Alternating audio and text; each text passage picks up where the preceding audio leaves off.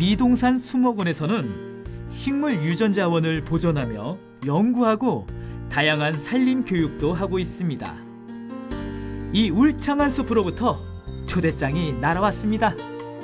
숲해설가, 산림 치유 지도사, 자연 생태 지도사 이렇게 숲에서 놀자고 자연으로 오라고 계속 우리를 꼬드기는 분들이 있습니다. 그래서 오늘은요 숲의 요정들을 만나러 갑니다. 숲해설가들이 한데 모여 프로그램을 선보이고 연구하는 축제. 건강하고 유쾌한 사람들을 만나봅니다.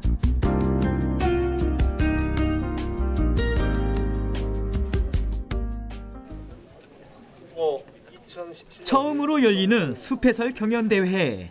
다양한 프로그램을 개발해서 공유합니다. 오늘은 충북도 내 산림복지 전문가들의 네트워크를 만들어서 유대를 강화하고 정보를 나누는 날입니다. 산림복지 전문가 모임이라고 들었는데요. 사실 어, 그 복지는 정부 예산으로 하잖아요. 그런데 어떻게 이 숲으로도 복지를 할 수 있는지 너무 궁금해요. 예, 그거는 우리 그 숲에서 선생님들이 아, 숲에서 힐링도 하고 인성교육, 인성교육도 하고 놀이를 통해서 모든 면에서 인성교육도 하고 어, 건강도 복지를 하고 또 생각이 달라지고 그래서 지식 수준이 아니고 서로 놀아가면서 서로 체험하면서 같이 어울리는 그걸 우리가 복지라고 생각을 합니다. 숲해설 시연부문 경연 대회는 숲을 돌아다니면서 열립니다. 그래서 참가자와 관중들이 함께 숲으로 이동합니다. A 코스 첫 참가자는 김재숙 선생님. 병원 사무직으로 일하다가 숲해설가가 됐습니다. 어린이들을 위한 숲해설인데 준비물이 다양합니다. 경연대회를 구경하던 숲해설가들이 어린이 역할을 맡아서 참가자의 숲해설 시연에 동참합니다. 참가자들은 시연 계획서를 제출해서 1차 심사를 거쳤고 오늘은 2차 현장 심사가 있습니다. 아유 안녕하세요. 네, 지금 꼼꼼히 평가를 하고 계시는데요. 네네. 이 심사 기준이 있을까요? 네 있습니다. 심사는 두 단계로 되어 있는데 사진에 계획서를 작성합니다. 거기 계획서 작성하고 오늘 현장에 와서 그 계획서대로 시연하는 이런 형태 있습니다. 시연은 도입부, 정계부, 마무리인데 도입부에서는 자기 소개를 하고 그리고 안전이라든지 야외에 사니까 이런 데 안내를 해주고 어, 정계부에서는 역동적인 건가 또 조금 정적인 사항들 이런 것들이 있고 또 어느 부위에서 쓸 건지 다른 부분이 있고 마무리에서는 지금 전체 해설했던 것들에 대한 나눔의 자리 이런 것들이 함께 포함되어 있습니다. 네. 숲 해설가가 된 사연이 궁금해지네요. 우리 옆집에 새댁이 살았는데 우울증이 너무 심한 거예요. 그래서 어, 얘를 어떻게 낫고 낫게 하고 싶은데 항상 집 안에만 있어가지고 안 나오는 거예요. 그래서 제가 숲을 돌아다니면서 이렇게 지나가다가 이렇게 예쁜 꽃이 있으면 앉아가지고 너 치료해 주려고 예쁜 꽃을 주셨어. 이러면서 이렇게 다니다 보니까 걔가 우울증이 심했었는데 고쳐졌어요. 두 번째 경연에는 지나가던 어린이들이 참여했습니다. 숲해설 주제는 거미줄 위에 거미랍니다. 개미는 몸이 몇 동, 어, 몸이 얼만큼 있나 한번 보자. 덩어리를 세려볼까? 머리, 가슴, 배. 하나, 둘, 세 개 있지? 거미는? 거미는? 거미는 어, 다섯 개. 어, 다리가 여덟 개. 여덟 개라서. 한번 세려볼까? 자, 하나. 아이들의 진지한 표정만 봐도 김정미 선생님의 숲에서 실력을 가늠할 수 있습니다. 늑대거미? 이번엔 자리를 옮겨서 거미를 직접 관찰하는데요. 아이들의 호기심이 폭발하는 순간입니다. 거미한테 미안하긴 한데 우리 살짝 관찰만 하고 놔주자.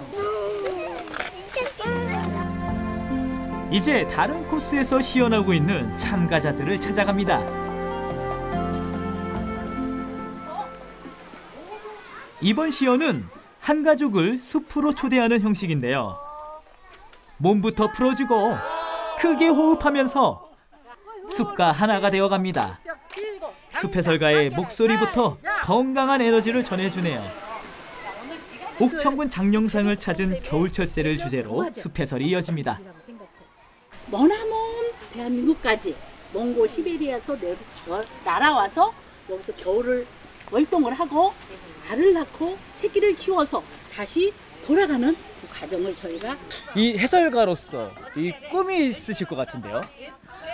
어, 그동안에 제가 아이들을 가르치는 직업을 가지고 있다가 어, 나이가 먹으면서 정말 건강하고 내 노후에 즐겁고 행복한 직업을 선택하다 보니까 숲 해설가를 선택하게 됐는데 정말 저의 적성에 맞고 어, 제가 그동안 쌓아왔던 그런 노하우들을 교육 현장에 직접 접목시켜서 사- 어른, 아이, 가족 모두에게 이 살림의 중요성을 깨닫고 우리가 이거를 어떻게 보존해야 될 것을 가르치는 일을 하고 싶습니다. 다음 참가자의 시연 숲으로 들어가는 상황부터 시끌벅적합니다. 따르릉 따르릉 숲에 갑니다. 누구랑 바람지어 놀려고 숲에 갑니다. 이렇게 들어가면 안 되지 중건데. 이렇게 유쾌한 어른들이 또 있을까요? 숲해 설가들의 모습이 참 건강해 보입니다. 이번 주제는 다람쥐 겨울나기. 우선 다람쥐 먹이를 골고루 담습니다.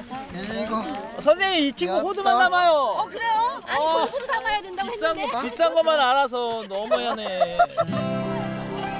숲해설 현장에서 만났던 꼬마들을 흉내내는 선생님들 장난꾸러기가 따로 없네요. 이제 겨울을 준비하는 다람쥐가 되어 먹이를 숨기러 달려갑니다. 이번 시연에서는 바라보는 숲이 아니라 몸으로 느끼는 숲을 보여줍니다. 지금부터 다시 겨울 잠을 자는 다람쥐가 되어보세요. 근데 배가 자꾸 고파지는 거예요. 아, 가을에 숨겨놨던 도토리, 호두 막 이들이 생각이 나는 거예요. 잠에서 깨어납니다. 깨어났어요. 자, 자 일어나세요. 자, 지금부터 도토리 뭐 아무거나 세 개 찾아오세요. 세 개. 어, 내가 숨긴 거 찾아. 숲은 언제나 그 모습 그대로인데 숲해설가들의 프로그램이 더해지면서 신나는 놀이터가 되고 한바탕 웃음 잔치가 벌어지기도 합니다. 여기다 놓으라고요? 네, 세 개 확인. 네, 어우 잘했어요. 오, 너무 잘했어요. 시연을 지켜보면서 숲해설이 사람을 변화시킬 수 있다는 것을 실감했습니다. 아니 계속 이렇게 진행하는 동안 네. 잘 웃으시고 아, 네. 또 저기 참가 같이 해주신 분들도 너무 웃고 떠들고 그러셨는데 네네. 어떻게 해서 이렇게 또 재밌는 시나리오를 짜게 된 거예요? 이거는 제가 이제 벌써 한 지가 10년째 되네요. 그냥 이렇게 뭐 어디서 본 건 아니고요. 하다 보니까 이렇게 조금씩 쌓여서 음, 그냥 이런 프로그램이 나오게 됐습니다. 아, 네. 뭐 특별히 이런 책도- 프로그램 했던 네. 이유 이유는 이제 친구들하고 이렇게 하다 보면 유치원 아이들은 뛰어다니는 걸 되게 좋아해요. 가만히 있는 것보다. 그래서 움직이는 게 좋아서 제가 이제 뛰어다니는 활동적인 거를 하다 보니까 이 프로그램 음, 하게 됐습니다.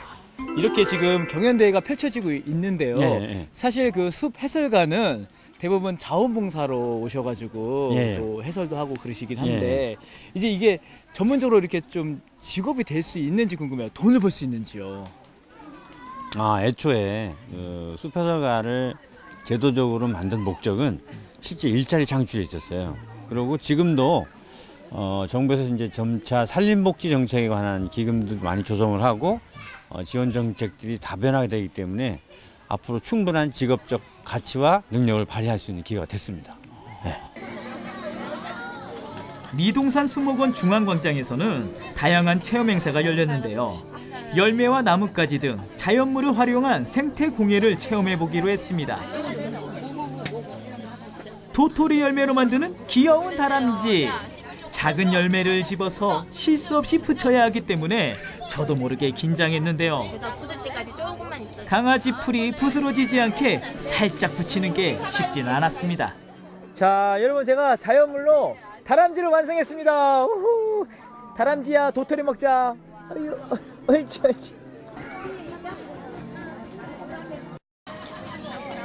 쌀쌀한 날씨 때문에 전통차를 찾는 분들이 많았습니다. 숲의 향기와 맛이 오롯이 담긴 차 한 잔이 달리 보이는 날입니다. 와, 여러분 여기는 꽃차가 있네요. 안녕하세요. 예. 어, 어떤 꽃차가 있는 거예요? 네, 여기는 국화꽃차고요. 네. 여기는 칡꽃 차입니다. 아, 국화꽃이랑 칡꽃이요? 네네. 그리고 천천히 음미하면서 드셔보세요. 네. 꽃향기가 나네요. 아, 예. 그렇습니까? 아, 참. 바로 옆에서는 스트레스를 측정해 줍니다. 아, 그럼 저도 이제 한번 해보도록 하겠습니다. 네. 자, 어떤 어, 어, 오른쪽 손인가요? 예, 검지를 넣으시면 되고요. 스트레스와 혈관의 상태를 측정하는데요. 온몸에 힘을 빼고 천천히 호흡하는 것만으로도 마음이 차분해졌습니다. 오, 결과가 나왔네요. 네, 결과가 나왔는데 이 정도면은 예. 그렇게 나쁘지 않은 거예요. 예. 지금 어떻게 나왔죠? 방송하시면서 스트레스 많이 받으실 것 같은데 네. 평소에 관리를 좀 잘 하시는 것 같아요. 아니 저는요 여기 이렇게 좋은 곳에서 계속 살고 싶네요. 아우 그럼요. 여기 오시면 항상 즐겁게 행복하게 사실 수 있을 겁니다. 숲으로 오십시오. 오후에는 산림교육센터에서 산림복지 전문가의 미래라는 주제로 특강이 있었습니다. 오늘의 강사는 바로 신원섭 전 산림청장. 충북대학교 산림학과 교수로 재직하다가 산림청장을 역임했고 올해 7월에는 유엔 식량농업기구 산림위원회 의장으로 선출됐습니다.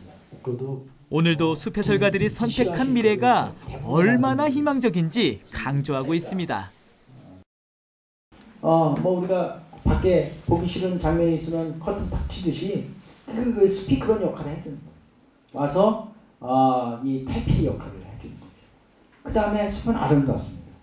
가도 아름다운 곳에서 탈피하는 거예요. 또 숲에 가면 어느 정도 면적감이 있어요. 혼자 그래서 그 이 혼자 고독하고 싶으면 숲에 들어가고 또 뭐 땀 흘리고 운동하고 싶으면 숲에 들어 운동 그 열심히 걷고 이런 것들이 내가 의도하는 그 바가 숲속에서 이루어진다. 그렇기 때문에 숲이 가장 중요한 회복의 장소이다. 그렇게 각하는 겁니다. 네, 마지막으로 마지막으로 숲해설 경연대 시상식이 열렸습니다. 상으로 부여가 됩니다. 네, 마지막 대상입니다. 대상은 우리 윤은영 선생님입니다. 아하, 다람쥐 만들기 도와주셨던 선생님. 첫 대에서 대상을 수상하셨네요. 축하드립니다. 용정 산림공원에 있는 유아숲 체험원에서 활동하고 계신데요. 질 높은 숲해설로 유명한 분이랍니다. 대상을 타셨는데 어떤 부분을 높게 평가받았던 것 같아요? 한국 사람들이 제일 많이 하는 외래어가 혹시 뭔지 아세요? 안타깝게도 1위가 스트레스랍니다. 네. 숲으로 와서 좀 스트레스도 좀 날리고 어, 우리 마음을 좀 아, 가볍게 할 수 있는 그런 프로그램을 좀 계획을 해봐야 되겠다 해서 꿈에 대한 얘기를 했어요. 그러니까 어릴 적 우리가 잃어버렸던 꿈들에 대해서 그런 이야기를 하면서 선생님들 스트레스를 조금 날려버리는 그런 프로그램을 저희가 진행을 해서 아마 네 그걸 높게 사주신 것 같은데 어쨌든 감사합니다. 숲 해설가 한 명은 나무 한 그루. 수많은 숲 해설가들이 모이면 커다란 숲. 우리보다 먼저 숲 속에 도착한 그들이 숲이 주는 건강과 행복을 잔뜩 챙겨놓고 이렇게 외치고 있습니다. 숲에서 놀자!